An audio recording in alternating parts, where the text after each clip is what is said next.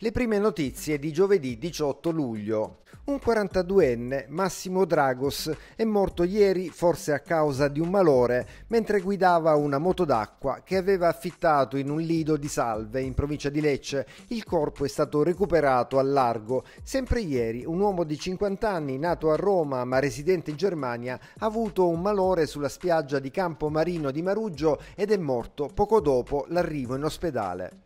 In un centro benessere di Barletta alcune ragazze fornivano prestazioni sessuali con massaggi erotici ed era prevista addirittura una raccolta punti per i clienti più fedeli. Un uomo e una donna, titolare e segretaria del centro massaggi, sono stati arrestati dalla Guardia di Finanza. All'uomo sono stati sequestrati 500.000 euro.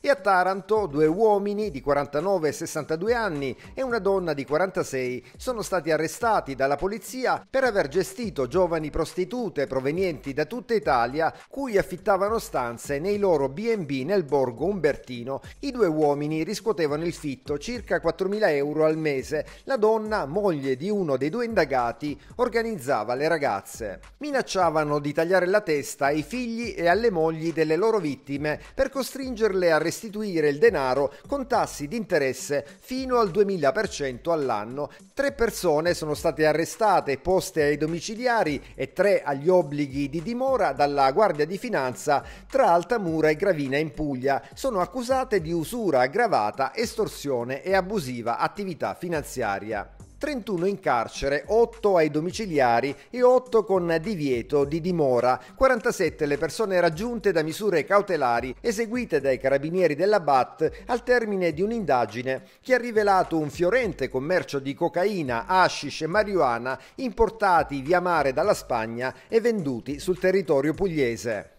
Ancora un attentato incendiario nella notte a San Pietro Vernotico. Una Fiat Grande Punto è stata data alle fiamme ed è andata distrutta. Da giorni polizia e carabinieri hanno aumentato i controlli dopo una catena di episodi di violenza. Un incendio di probabile origine dolosa è divampato ieri nel Parco delle Veneri di Parabita, arrivando a lambire la grotta preistorica. Le fiamme hanno inghiottito diversi ettari di macchia mediterranea e ridotto in cenere le giostrine per bambini e l'area picnic. La Procura di Brindisi ha chiesto la condanna a quattro anni di carcere in abbreviato per il sociologo barese e fondatore del festival Legalitria Leonardo Palmisano, imputato per concussione quale legale rappresentante della cooperativa Radici Future nel processo su presunte tangenti al comune di Erche in provincia di Brindisi. Elio Sannicandro, rinviato a giudizio insieme ad altre 10 persone per corruzione e turbativa d'asta, torna a fare il direttore generale dell'Asset Puglia. Michele Emiliano infatti ha firmato il decreto per il reintegro di Sannicandro, che però non si occuperà più di appalti assegnati a un altro dirigente, ma di strategia e programmazione. Meteo, il caldo torrido non molla la presa, con massime sino a 40 gradi e punte di 38 gradi persino in collina, molto caldo anche sul versante ionico e sul Salento interno, valori più contenuti sul versante adriatico e Salento orientale, ma con tassi di umidità elevati e clima afoso, vento di maestrale moderato,